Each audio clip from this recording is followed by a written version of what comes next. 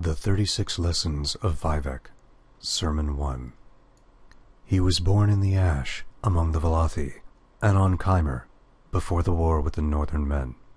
Ayem came first to the village of the Netchimen, and her shadow was that of Boethiah, who was the prince of plots, and things unknown and known would fold themselves around her until they were like stars, or the messages of stars. Ayem took a Netchiman's wife and said, I am the face-snaked queen of the three-in-one. In you is an image and a seven-syllable spell, Ayem Ae Sehti Ae Vehk, which you will repeat to it until mystery comes.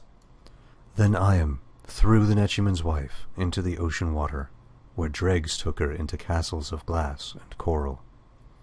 They gifted the Netchiman's wife with gills and milk fingers, changing her sex so that she might give birth to the image as an egg.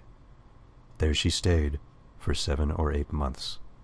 Then Seht came to the Netchiman's wife and said, I am the clockwork king of the three-in-one.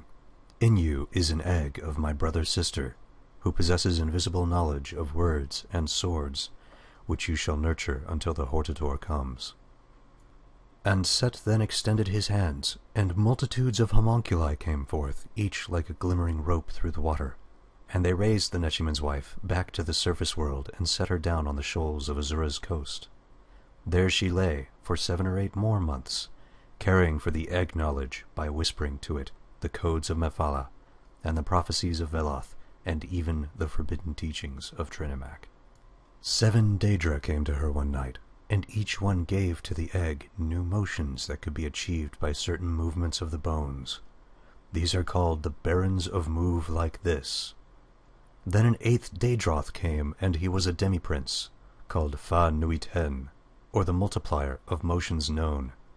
And Fa Nuit-Hen said, Whom do you wait for?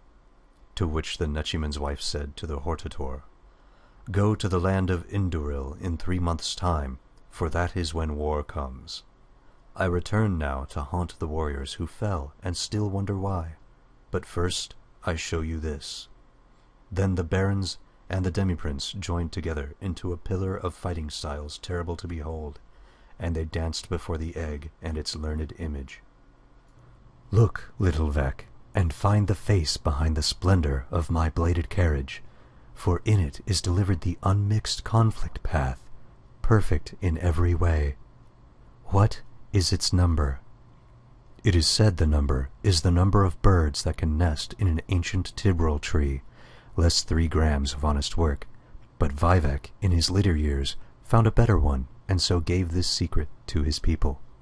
For I have crushed a world with my left hand, he will say, but in my right hand is how it could have won against me.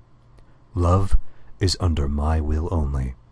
The ending of the words is Almsivi.